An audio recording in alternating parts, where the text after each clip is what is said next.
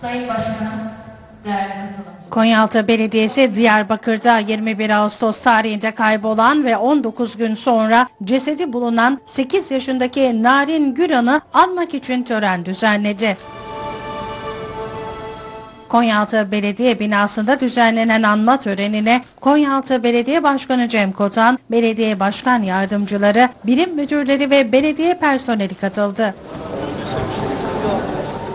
Duygulu anların yaşandığı anma töreninde bazı çalışanlar gözyaşlarına hakim olamadı.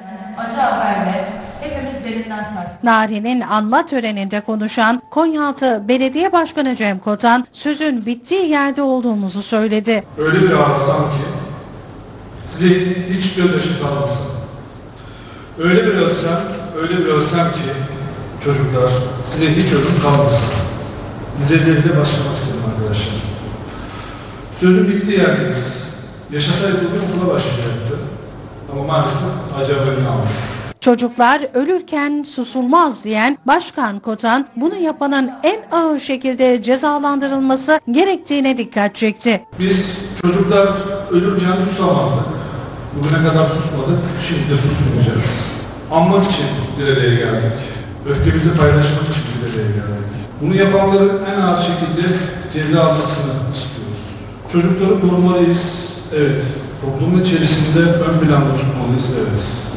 Bunlar için mücadele veren bizler olmalıyız. Hem siyasetle uğraşanlar hem devletin her kademesinde olanlar bunları yapmak zorundadır.